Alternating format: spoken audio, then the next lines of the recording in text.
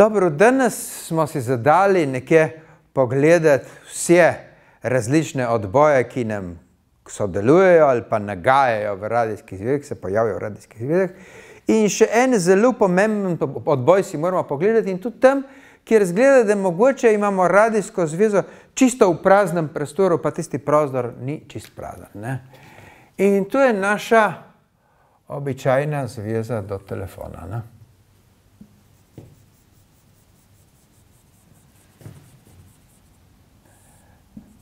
Zveza z odbojem od tav. Ne? Tla tukaj imam nekje oddajnik, bazno postajo od telefonov. Ne? In imam tukaj zdaj deklico, ki pridno čeka na telefon. Ne?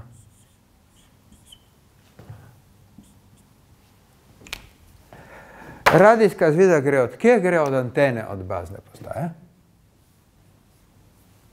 do telefona od deklice tukaj. Ne? Tu je zdaj naša radijska zveza. Ne?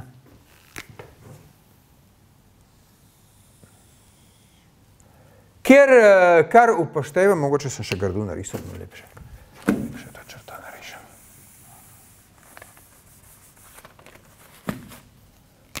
Pravi tako. Radijska zveza. Kar moram se zavedati pri takšni zvezi je, da tukaj bom zmerom imel odboj od tav. Se pravi, tukaj spodaj vidim še eno zrcalno bazno postajo.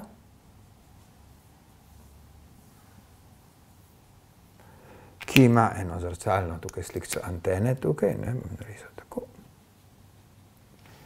In od njega gre zdaj tukaj odbiti žarek, ne, odbiti žarek, če ga narišem tako, ne.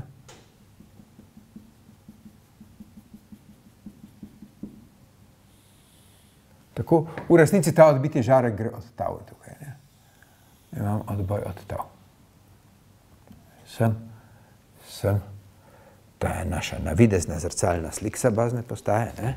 in uh, sliksa tukaj gor. Ne? Neposredni žarek. Ne?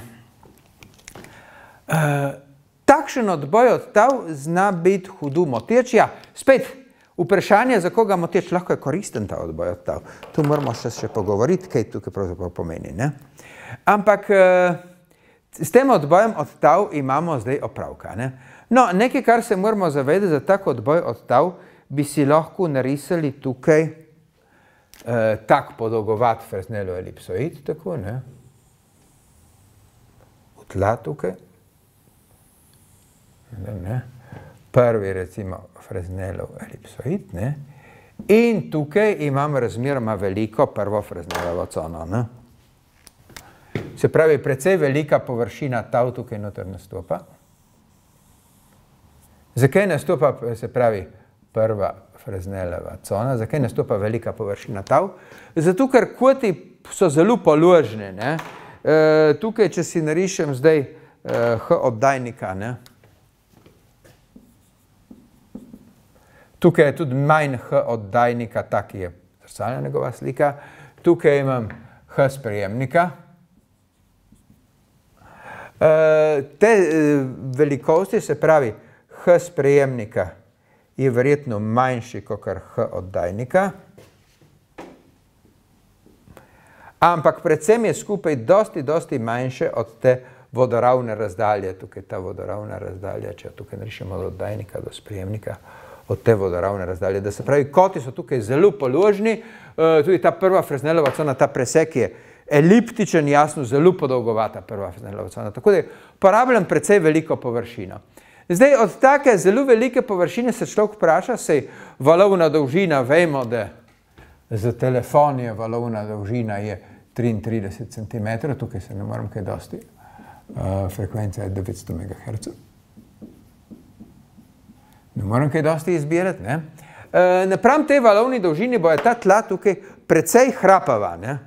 Se pravi, e, a imamo mi tukaj sploh e, kakšen odboj in kakšen je ta odboj? Zdaj se vprašam jaz, kakšen odboj imam. Ne? No in e, a bom sploh dobil kakšen odboj tukaj? Ne? No, skaže se, da če imam zelo položen upad, ne, se pravi, zelo nizki koti, je lahko površina precej hrapava. Če si jaz narišem recimo tukaj zemljo, hrapavo površino, pa še eno površino malo bolj od zade, recimo tako, ne, drugo.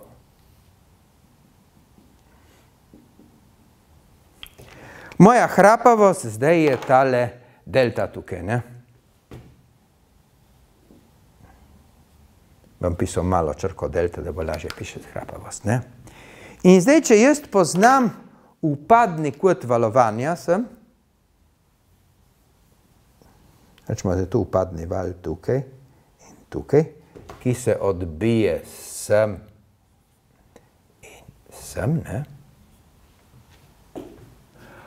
Koliko je zdaj tisti naš upadni kot? Upadni kot teta je tukaj, ne? Teta je upadni kot.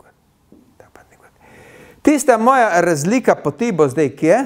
Moja razlika poti, če jaz teto prerišem, sem dol, ne? Tako. Imam tukaj, tukaj, tudi tukaj je teta, ne? Tukaj je teta. Pa tudi tukaj dol, tudi pravi kot, pravi kot, tudi tukaj je teta, ne? Moja razlika poti bo zdaj ta stvar tukaj ta košček tukaj in ta košček tukaj. Ne?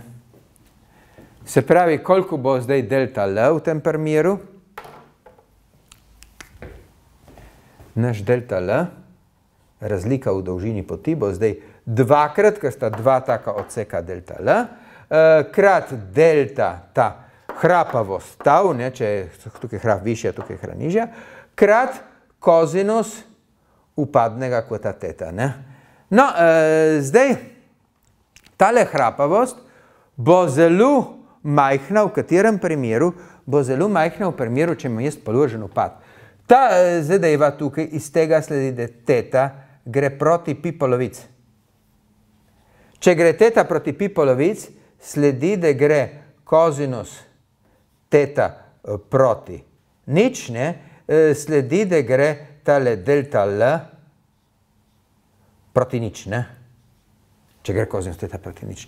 Tako da jaz imam lahko tla, ki so zelo hrapava, tudi dosti več, bolj hrapava, kot je valovna dolžina tukaj, ne? In jaz v teh tleh vidim, v teh tleh bom vseeno videl zrcalni odboj, ne? No, en tak poskus lahko naredim z enim listom papirja. Imam tukaj list papirja in zdaj s tem listom bom pogledal en zelo kontrasten predmet, tako da bom dobro videl, recimo tisto evropsko zastavo tam, tista, ki je taka plava tam, ne?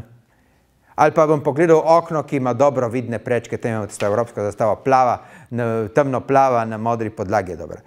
In zdaj, če jaz pogledam tako v tem listu papirja, jasno, jaz ne vidim zrcale, ker zdaj, jaz ne vidim zastave, ker jaz grem pod razmeroma strmim upadnim kotem tukaj na ta papir, ne vidim nič. Če pa jaz grem pod zelo nizkim upadnim kotem, se pravi, da jaz moje, eh, moje oko nastavim skoraj na višino papirja. Ne? Lahko naredite tudi sami, da imate poskus, pogledajte en kontrasten predmet, recimo zastavo. Naenkrat v papirju vidite zrcalno sliko predmetov, recimo zdaj jaz vidim modro zastavo, pa rumene zvezdice, ki se zavejo, pa rdečo in plavo od slovenske zastave, tukaj pa modro zastavo in rumene zvezdice na njej vidim. Vidim zrcalno sliko papirja, v katerem imam okus skoraj točno na višini papirja. Ne? Papir, ta papir je hrapal, valovna dolžina svetlobe je pol mikrometra. Papir je hrapal nekaj deset mikrometrov, se pravi, tukaj je mogoče deset do sto valovnih dolžin je hrapavost papirja, se pravi, tu zagotovo ni zrcalo. Ampak, če imam jaz zelo položen upad, se pravi, kot teta proti pi polovic, gre tale delta L proti nič. Ne? No, kakšen pogoj jaz imam z, zdaj tukaj z, uh, zato, da bom videl hrapavost? Jaz imam pogoj, koliko je delta fi. Ne? Koliko je sprememba faznega kota? Sprememba faznega kota, če je tu manjše, če je tu dobro, če je delta sprememba faznega kota, odstopanje faznega kota, uh, približno pi polovic, bom imel minus en decibel. Ne? Če je tale delta fi približno pi četrtin, ne, bom imel minus 0,5 25 decibela. Ne? No in če imam tako maj, majhen, od, majhno odstopanje faznega kota, bom rekel, da to je pa zrcalni odboj praktično. Ne?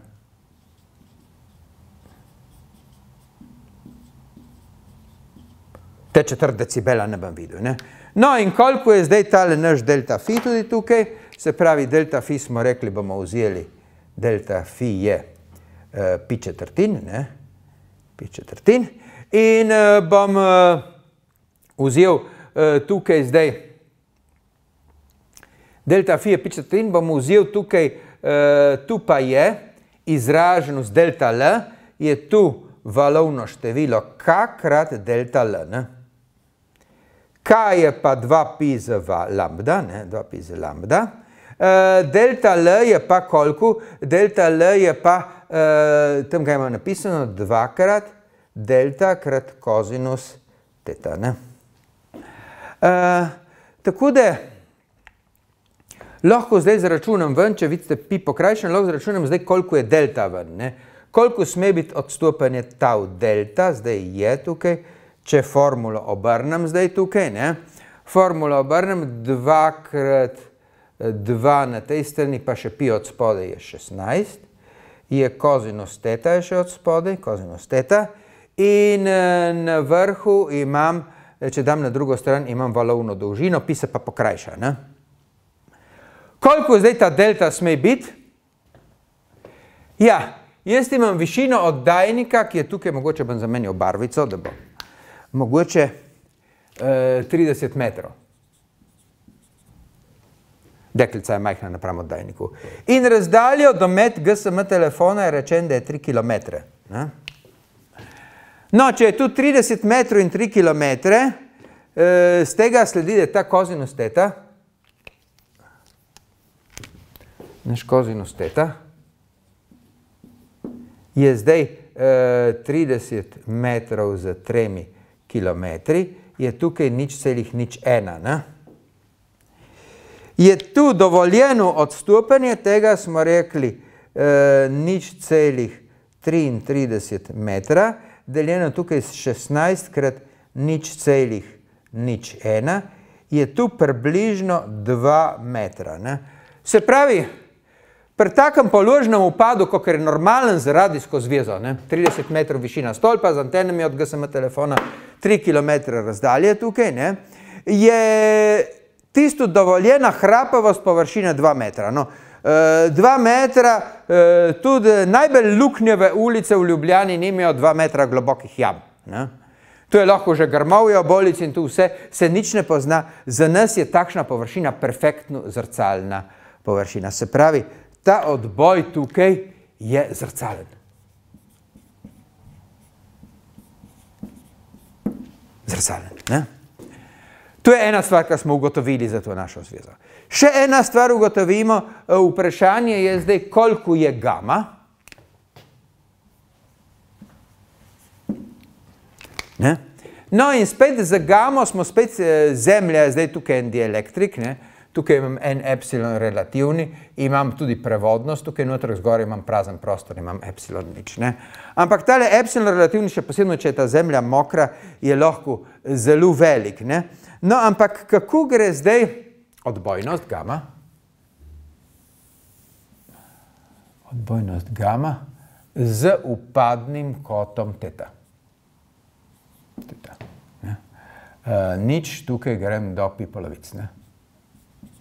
Polovici. Ne? Kako greste zdaj odbojnosti? Ja, zdaj tu smo speljali pri optiki in malo zdaj izkoriščam znanje iz optike. Vsekakor odbojnost ne more uh, nad ena, pa ne more pod minus ena. Ne?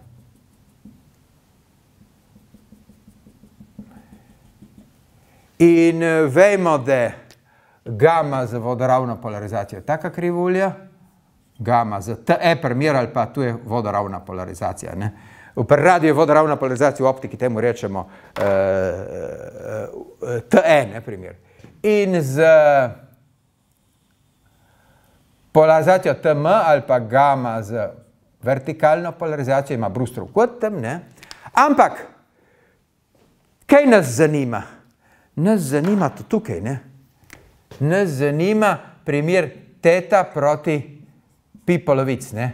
Kaj iz tega sledi? Iz tega sledi, da naš gama uh, po končne polarizacije bo podoben gama z vodoravno polarizacijo, bo, podob, bo približno ena, minus ena, minus ena sem to pozabil napisati, minus ena, ker smo tukaj spodaj, ne? Do minus ena gremo, ne? Oba dva gresta proti minus ena, ne? Tukaj je minus ena, tukaj je plus ena, ne? Ta graf smo risali pri optičnih komunikacijah, smo risali za odbojnost. Se pravi, odbojnost vemo zdaj, da tale naš gama bo zrcalen odboj in naš gama bo zdaj enak minus ena, neodvisno od polarizacije. Ne?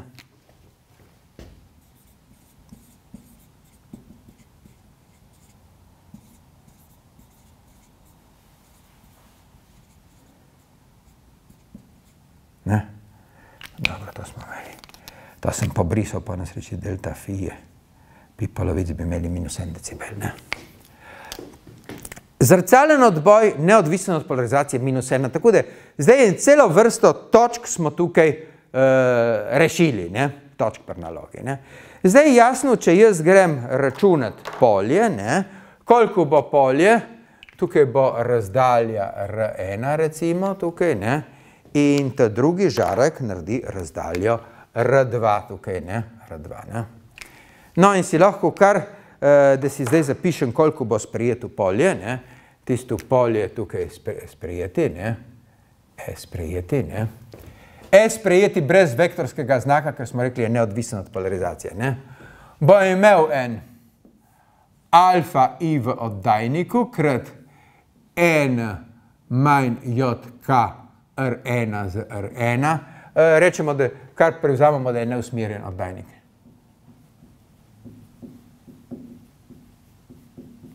Eno smernost sicer ta oddajnik ponavadi ima, ampak pri teh izredno položnih v kotih 30 metrov, 3 km, tista smernost oddajne antene skoraj da jo ne vidimo, tako da nima smisla, da jo pišem tukaj. Ne? Se pravi, učinkovitost antene, krat tok, ena manj od R1 iz R1, ne? in še ta drugi člen, ima pa gamo tukaj, ne? alfa i, zrcalna antena, na razdalji R2, ena manj od K, R2 z R2. Ne? Tu bo zdaj polje tukaj v sprejemni točki, ker sprejemam stvari. Ne? Ker poznam zdaj gamo, vem, moram še R1 in R2 izračunati, koliko stane. R1 in R2. Ne? R1 in R2, če si jih točno zapišem zdaj, smatram, da so pravi kvoti Pitagorov izrek, tukaj je vodoravna razdalja na kvadrat in tukaj H oddajnika manj H sprejemnika na kvadrat, ne?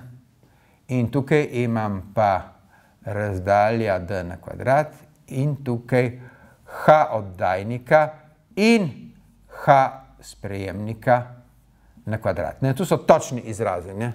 Vidite, pravokoten trikotnik, tu kateto ima D, tu kateto tukaj je višina oddajnika, manj višina sprejemnika, z zrcalen oddajnik je pa višina oddajnika in višina sprejemnika tam. Ne? Ja, noter, ne? No, zdaj uh, upoštevamo, zdaj, da ne bo treba cele klobasarije tukaj pisati, upoštevamo zdaj približen izračun tukaj. Približen izračun, kjer upoštevamo, da je le razdalja dosti večja od višine oddajnika. Tukaj smo rekli faktor 100, ne? za oddajnik je faktor 100, tam kakor pišemo. Ne? Tako da je D je le stukrat večji od tega izraza tukaj. Ne? No in eh, lahko zapišemo, koliko tisti približen koren je. Ne? Si približno izračunamo. Ne? Vsekakor vsak bo imel D zraven. D, ne? In tukaj, in tukaj. Ne? Zdaj pa imam, kaj imam tukaj noter, če tu približno korenim, d izpostavim ven, d kvadrat gre imenovalc, bo 2d v imenovalcu, ne 2d. 2d bo imenovalcu, 2d. Tukaj bom imel višina oddajnika na kvadrat in manj dvakrat višina oddajnika, višina sprejemnika, ne, in višina sprejemnika na kvadrat, ne, Tukaj bo pa višina oddajnika na kvadrat in, ne, ker imam in, dvakrat višina oddajnika, uh, višina sprejemnika, ne, in tukaj višina sprejemnika na kvadrat. Ne. Uh, tako da lahko si zdaj tale moj izraz tukaj malček poenostavim, ne, kako bo ta račun. Gama je minus ena, lahko že pišem noter, se pravi alfa krat i. Ne. Uh, ta prvi izraz jaz v imenovalcih ne bom amplitude nič upošteval, ker v imenovalcih je amplituda majhna, se pravi, jaz smem dati kar d v oba imenovalca, d tukaj in d tukaj v imenovalca. Edino razlika v fazi se bo poznala, v fazi se bo poznala razlika v amplitudi, je minimalna razlika, pa še v fazi bo malo razlike. Ne? Se pravi, lahko pišem tukaj zdaj ulomkova črta, smo rekli, uh, faza pišem kar d od spodaj, ne? Za, faza, za amplitudo pišem kar d, za r1 in r2, ker, ker so te kvoti tako majhni, pri amplitudi je minimalna razlika. Uh, skupen števc, števc skupen je ena eksponent d tukaj, ne? Uh, in h oddajnika na kvadrat in h sprejemnika na kvadrat uh, z 2d. Ne? In tu me niti ne zanima, koliko je točno. Ker to je skupna faza za oba. Pač pa zdaj imam oba člena. Ne? Oba člena. Prvi člen ima še tu tukaj, ne? tega tukaj se pravi je uh, manj od k, manj od k, pa ta stvar tukaj, tako manj od k sem pozabil. Prvi člen ima ena manj od k, ne? tisto, kar je različno. Ne?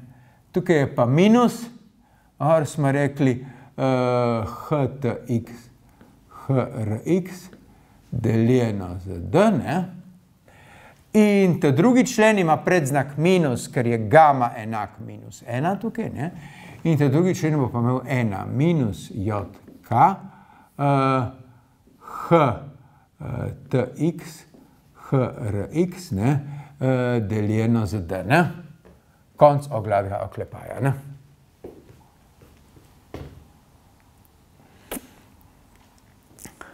No, uh, jaz zdaj, kaj, kaj me pravzaprav tukaj zanima? Tukaj imam na začetku, razen nekega minimalnega odstopanja faze, tukaj ne, je tu praktično električno polje neposrednega žarka. Ne, tukaj, če rešim tale E neposredni in da je tale tukaj E odbiti, ne, E odbiti pride tukaj spodaj, ne E odbiti. Zdaj, e odbiti ne bi rad z e nič mejšal, tukaj me gre malo narodno, neposredni pa odbiti. Ne. E, lahko bi rekel, da je tu približno, ne, razen za eno majhno odstopanje faze, ne, lahko bi rekel, dobro, ali pa pišem tako, ne. Pišem tako, da je uh, e sprejeti po absolutni vrednosti je zdaj e neposredni brez faze, ne, e neposredni brez faze, krat absolutna vrednost tega. N j, k, uh, h, t, x, h, r, x, uh, z d, ne, uh, manj n, manj j, k, uh, h, h, t, x, h, r, x, z d, ne. Pa konc absolutne vrednosti, sem tudi absolutno vrednost samo tega napisal, ne. Koliko je razlika zdaj dveh eksponentnih funkcij, ne, razlika dveh eksponentnih funkcij je zdaj 2j sinus. Ne? To je 2j sinus od tistega argumenta, ki ga imam gor, kakrat uh, htx, hrx z d tukaj, ne? Z d tako, ne? Uh, sinus od tega tukaj, ne? Tisto 2j sinus. Tako da je lahko e sprejeti, mene me zanima na zadnje samo jakost sprejema, bo zdaj e neposredniko, ker da ne bi imeli nič zraven, krat dvakrat sinus, ne, od, tukaj smo rekli, uh, moram napisati tako, moram napisati, uh, sinus od k krat uh, htx, hrx z d, ne, tako, pa še konco klepaja, ne. Pa še ta sinus, zdaj, če sem natančen, še sinus bi mogel dati absolutno vrednost, ker uh, jasno me zanima samo velikost. Ne? No, kaj to zdaj pomeni na mestu sprejema, tukaj, kjer se nahaja deklica? Uh, jaz žal to sliko imam precej počečkano. Ne? ne morem te gor narisati. Ne? Dobro bom narisal tukaj še enkrat. Narisal še enkrat samo tisto podrobnost deklice tukaj, ki jo imam.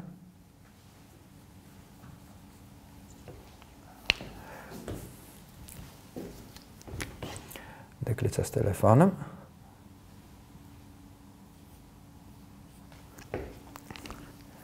Tukaj ima telefon. Kako zdaj izgleda tukaj, če grem jaz za višino sprejemnika, h, r, x, kako izgleda zdaj tukaj polje, ne? Se pravi, e po absolutni vrednosti, kako izgleda, ne?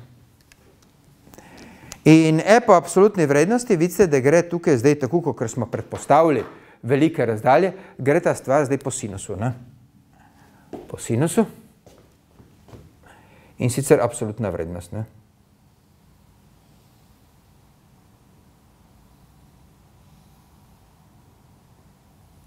Vidim tukaj interferenco zdaj napredujočega in odbitega vala, kjer je moj E neposredni tukaj na polovici. Ne? E neposredni je tukaj. Ne? Tukaj gor pridemo celo na točko dvakrat E neposredni, ne? kjer se napredujoči in odbiti val sešteje sta v fazi. Žal za majhne višine, vse deklice so majhne, smo tukaj od spodaj. Ne? Koliko je zdaj celotna moč v sprejemniku, če si jaz zdaj celoten izraz narišem, napišem za moč, ne? Moč v sprejemniku je, če si zapišem frisovo enačbo, je zdaj moč oddajnika, ne?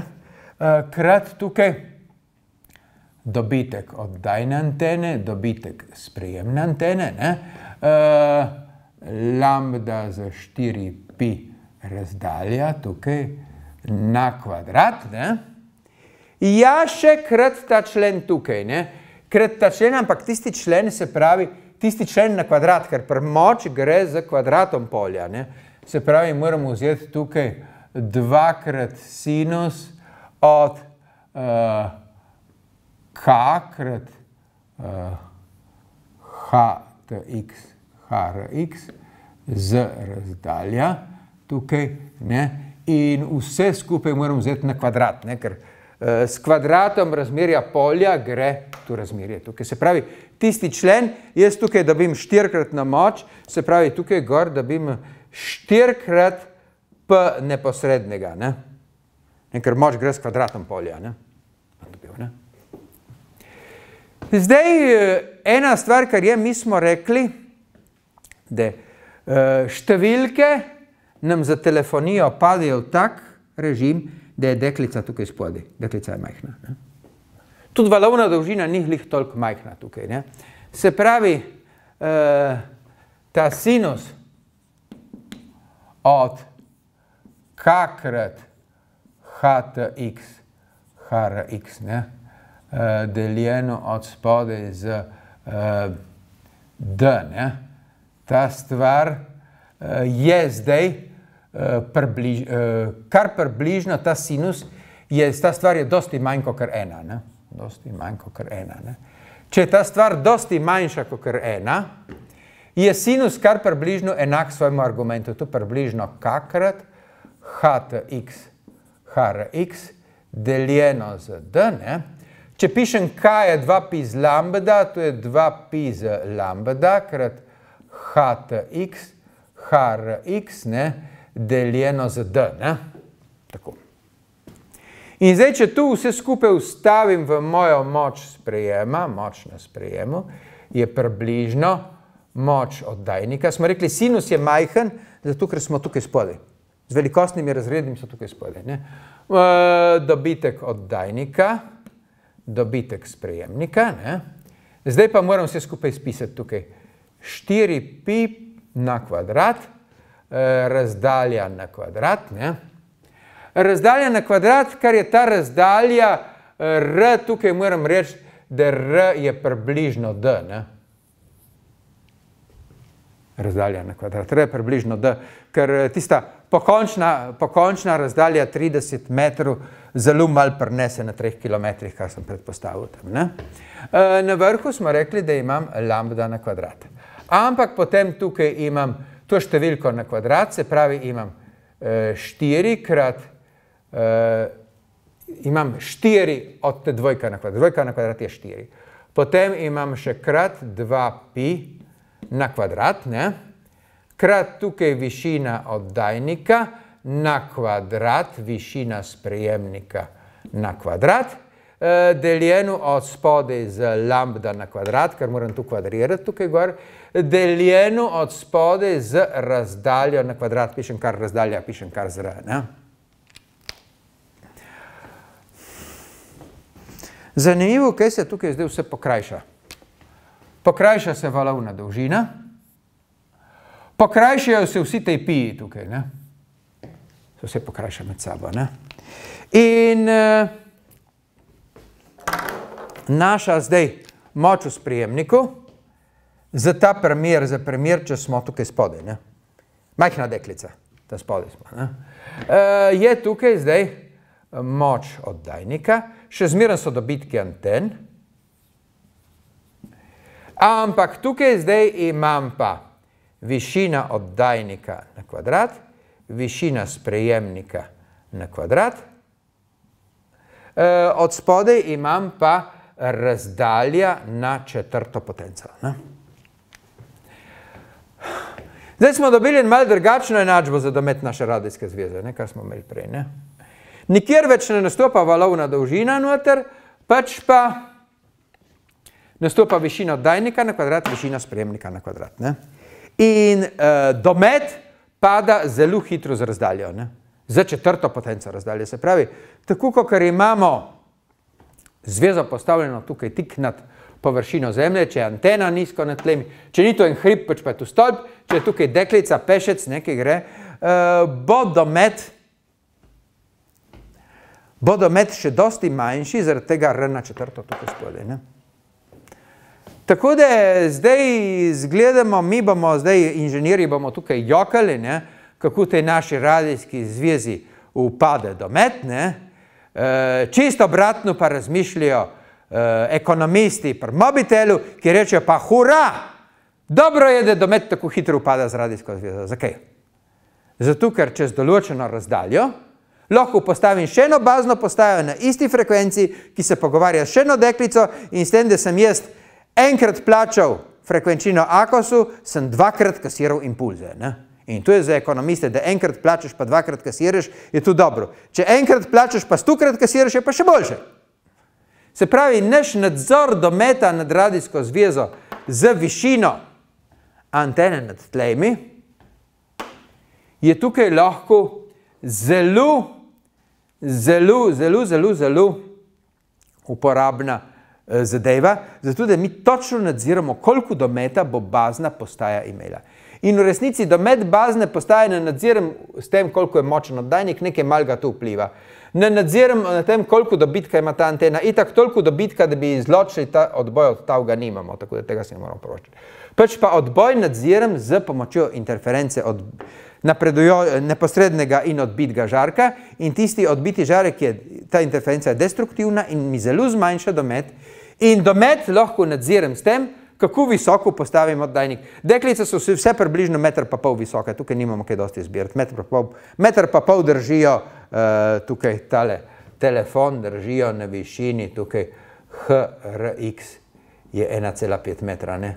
Drugačnih deklic nimamo, ne? Uh, pač pa, višino oddajnika se da izbirati in z višino oddajnika se da tu izbrati in jasno, kakor jaz gostimo mrežje, hočem imeti manjši domet in manjše motne, preprosto znižam oddajnike in s tem upravljam. Ne? No, kar je tukaj zanimivo, je to, da ta izraz, ki smo ga zdaj tukaj z našimi utemeljenimi zanemaritvami dokaj točno speljali ven, ne, velja tudi za mestno okolje. Z številnimi meritvami po celem svetu je moč oddajnika, moč v sprejemniku, ne, je zdaj dobro. So razmerna moč oddajnika, te so razmere še zmerno staja moč, eh, dobitek oddajne antene, dobitek sprejemne antene. E, tukaj je še zvedno, dobro, neka, so raz, eh, neka sorazmernost konstanta, C bi lahko rekel, ki je odvisno od tega, tudi ta pa ima valovno dolžino noter, ne, ta C bi lahko rekel tukaj, da je C neka sorazmerostna konstanta od lambda bo tukaj noter, ne? Ja, ampak višina oddajne antene na kvadrat ostane, višina sprejemne antene na kvadrat tukaj ostane, tukaj pa r na minus n, kjer številne, zelo številne meritve dajo ta n med 3 in 5. Ne? Mi smo za odboj od tav dobili 4, kar je bilo dokaj dobro, meritve dajo med 3 in 5 za različna mesta okolja, tako da skoraj povsod se da domet eh, bazne postaje od telefona čist zelo točno nadzirati s tem, koliko visoko smo anteno postavljeni. Dobro, različna mesta so različna, japonske hiške iz papirja imajo zelo, zelo gotovo dosti, dosti nižje slabljene, kot slovenske železobetonske trdnjave. Ne? E, tako da na japonskem morate konstanto C vzeti dosti večjo, kot pa v Sloveniji, ampak vse ostalo pa ostane tako, kot smo napisali na tablo. Ne? Tako da e, ta izpeljava odboja od tav nam zdaj krepko, krepko, krepko zniža domet zveze. Ne? Iz uh, GSM telefonu v praznem prostoru lahko pride do nekaj 100 km, odvisno od dobit, dobitka oddajne antene, lahko do 1000 km. Z odbojem od tav je ta domet za GSM telefon, uradno je tu rečeno 3 km, ampak nekje preko 10 km, preko 20 km težko gre. Ne? Dobro, ne, ne, ne računa se zveze čisto točno na zadnji meji, 3 km je nekje tistega uporabnega dometa in potem tista razdalja 20 km je pa že tista, kjer lahko že kanal ponavljam, isto frekvenco ponavljam. E, mobitelovci, ki imajo dosti denarja za različne poskuse, so enkrat naredili zanimiv poskus. Ne? So vzeli svoj merilni sprejemnik za omrežje ne? in namesto, da bi se vozili z avtom z njim, so se po Ljubljanskem barju peljali z balonom. In kakšen je bil rezultat? Merilni sprejemnik v barju na tleh je delal čisto v redu. Na 100 metrih višine so še mogoče vzpostaviti zveza. Na 200 metrih višine balona so sprejemali samo še motnje. Oni s svojim omrežjem, posebno po Ljubljani, ki je zelo gosto, imajo tako gosto omrežje, da če tega slabljena odboja od tav ne moreš izrabljati, recimo, če se pelješ z balonom visoko, ne, eh, je sprejemaš toliko baznih postaj na isti frekvenciji, da ne moreš ničesar več dobiti. Se pravi, oni ta odboj tukaj krvavo izrabljajo, za gradnjo svojega omrežja. Se zato tudi veste, če nesete telefon s sabo v hribe, na vrhu hriba telefon verjetno ne bo delal. Zakaj ne bo delal na vrhu hriba? Zato, ker dobijem kup različnih baznih postaj z različnih smeri. E, trik, če ste greste v hribe s telefonom in res morate nujno telefonirati z vrha hriba. Jaz mislim, da bi v hribih treba te prvo uživati, uživati in potem razmišljati o telefonu. Ne? Če morate nujno telefonirati z vrha hriba, verjetno je pametno stopiti 10 met pod, metrov pod vrh in poiskati tisto točko okoli vrha greste, kjer sprejemate manj baznih postaj in vam mogoče zveza s telefonom uspe. Ne? Nikakor pa ne z vrha tri glava. Ne? Tam, tam vam zveza verjetno ne bo šla, se morate umakniti 10 metrov proč od vrha, en malček pod vrh, tako da imate smer samo v eni smeri in tam boste mogoče dobili. S tem, da če ste na vrhu tri glava, še nekaj treba upoštevati. 3 kilometre je naš radijski domet, oziroma nekaj več kot tu, ker smo visoko v hribih, je ta številka večja.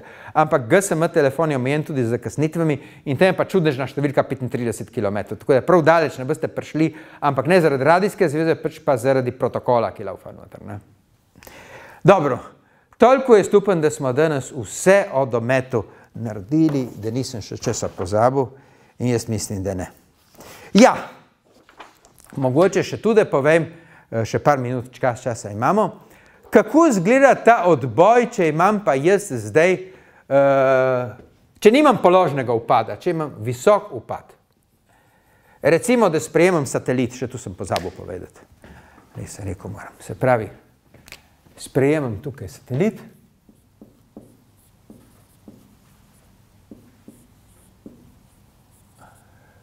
Kako zdaj izgleda Eh, primer mojega sprejemnika tukaj. Ne?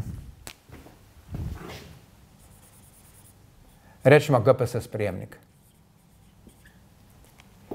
Če imam jaz velik, velik kot tukaj, tako da imam tukaj zdaj neposreden žark.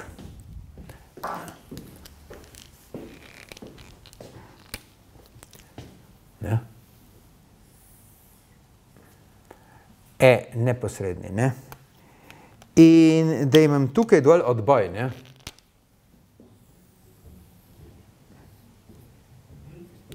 E odbiti. Ne? Kako zdaj izgledajo računi tukaj? Ne? Ja, zdaj z gamo smo pa tukaj. Ne? GPS, če narišem. Ne? Tukaj smo bili Zemeljska zveza.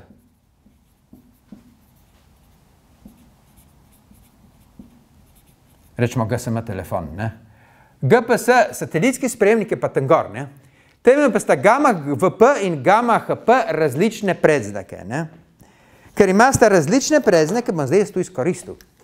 In jaz bom iz satelita oddajal z desno krožno polarizacijo. Ne? Tudi sprejemno anteno tukaj bom naredil desno krožno. Ne? Ne?